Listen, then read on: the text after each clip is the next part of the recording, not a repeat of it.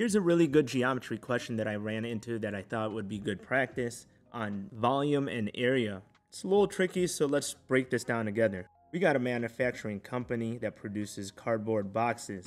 The cardboard box has a cutout of a 3 by 3 square on each corner. Then they're going to fold that up without a top. The volume of the box is 162 inch cubed from the given statement. What is the dimension of the original cardboard box before cutting out its square corners? The question is asking for the dimensions of this, and in order to find the dimensions of that, we need the value of x. Here's the game plan to find the value of x. I'm going to need to use the volume for a rectangular prism formula, which is length times width times height. And that in the end is going to equal 162 inch cubed. If I take this rectangular prism and fold it up, it's going to look something like this.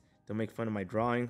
I'm to try my best to illustrate a rectangular prism. That's not that bad. If I fold this up on the dotted lines, the easiest one to identify is the height. It's to have a height of 3 units. Moving on to the length. The length of this is not 3x. That is not correct. That's because they're going to cut out 3 right here and 3 right here. So to represent the expression for my length, I'm just going to take 3x minus 3 minus 3, or 3x minus 6. Similarly, we can write the expression for the width in the same manner. This whole thing is 2x plus 2, but I gotta subtract 3 and 3 twice because I'm ripping off those corners. And if I were to fold that up, the expression for your width is gonna be 2x plus 2 minus 6, which simplifies to 2x minus 4.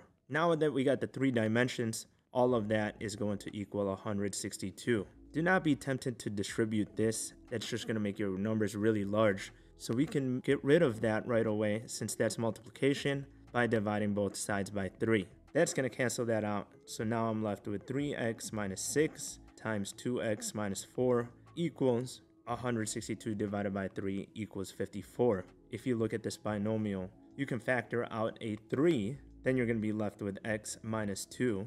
This one you can factor out a 2, and you're left with x minus 2 once again, equals 54. And since this is all multiplication right here, we can multiply these two values to get 6. And once again, if I divide both sides by 6, it's going to make my numbers a lot smaller. That's going to cancel this out. I'm left with x minus 2 times x minus 2. 54 divided by 6 is 9.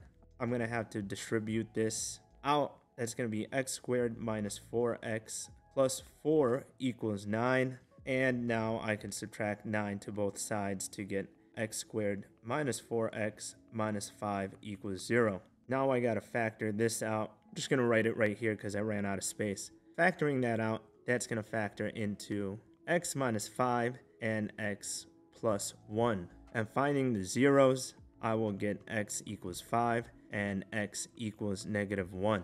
Only one of these makes sense because if I plug in a negative 1 into this expression, I'm going to get negative dimensions, so we're not going to use that one. And the last thing that we got to do here to find the dimensions, plug that in. It's going to be 3 times 5, which equals 15. You can plug it in on this one too if you want, but most of you can tell the answer. That's going to be letter choice C. Hopefully this was a good review for you, and if it was, like and subscribe, and I'll see you on the next episode. Peace.